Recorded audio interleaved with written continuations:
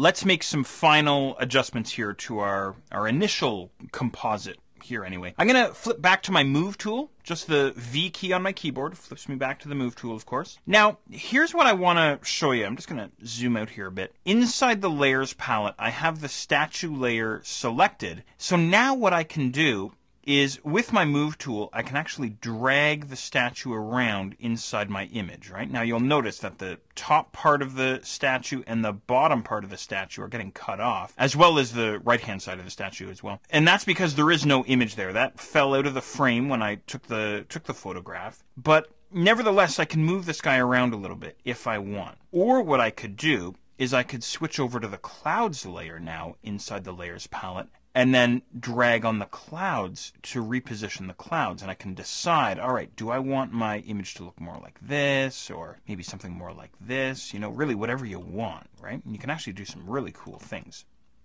Now, that said, let me show you a cool trick here. And of course, I'm still on my move tool, but up on the options bar, we have an auto select option here. I'm going to turn on auto select. And what that does is that saves me the trouble of having to select the layer inside the layers palette. And you know, that's something I'm always forgetting. I'm thinking about the statue and I want to go and manipulate the statue.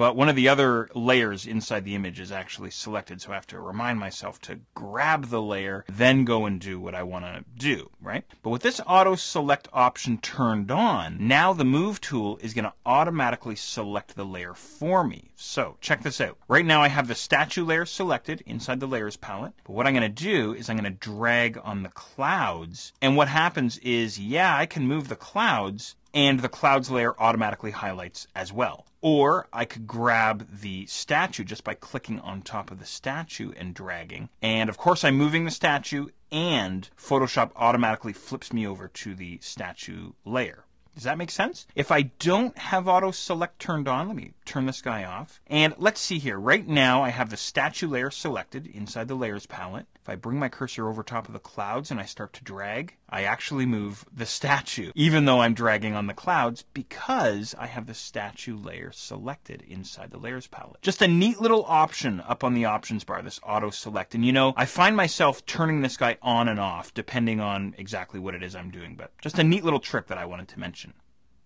Okay, to finish things up here a little bit, I'm going to grab my clouds layer inside the layers palette. Let's use our free transform to resize our clouds. So, do you remember your keyboard shortcut for your free transform?